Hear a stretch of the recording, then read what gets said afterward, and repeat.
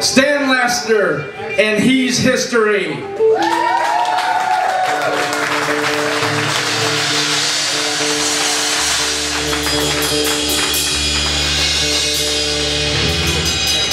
Thank